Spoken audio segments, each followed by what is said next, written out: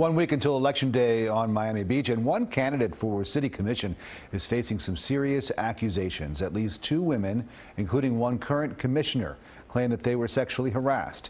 Here's CBS 4's Silva Harapetian.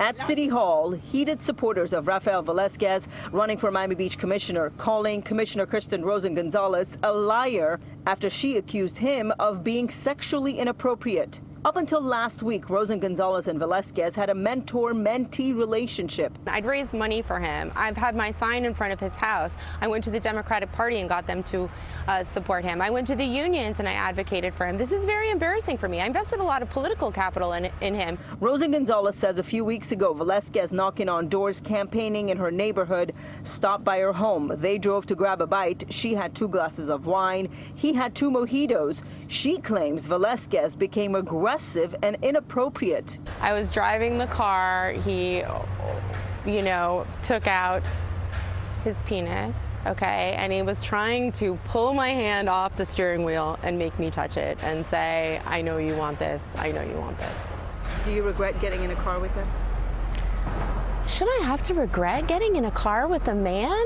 The only problem here is that I'm not the one in power. I'm not the, the, the one that's elected official that's taking care, advantage of an intern or is taking advantage of, of a candidate, you know. I'm not the stopper. Oh, she is. I mean, she's a mentor of mine. Right? I mean, I'm looking up to her. I'm Velasquez, who's married with children, denies any wrongdoing and calls it dirty Miami Beach politics, answering voters' questions. Kristen Rosen Gonzalez is lying. That's is that right. what you're saying? That's right.